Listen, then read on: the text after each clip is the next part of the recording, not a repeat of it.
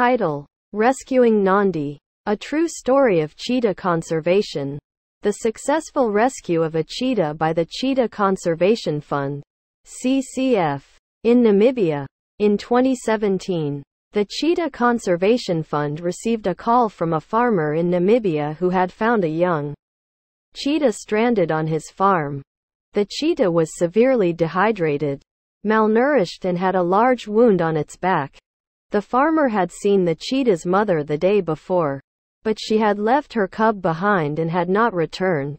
The farmer contacted the CCF, who sent a team to rescue the cub.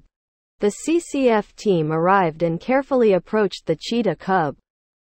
They managed to capture it and took it to their headquarters for treatment.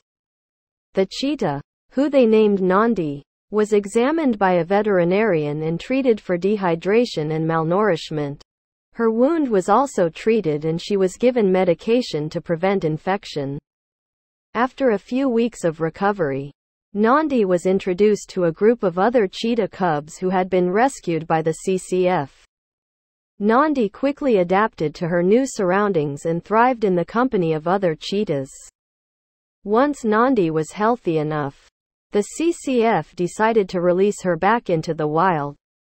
They fitted her with a GPS collar and released her into a protected area of Namibia.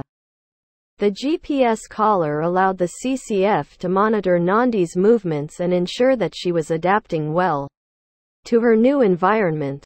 Nandi successfully adapted to life in the wild and was able to thrive in her new habitat.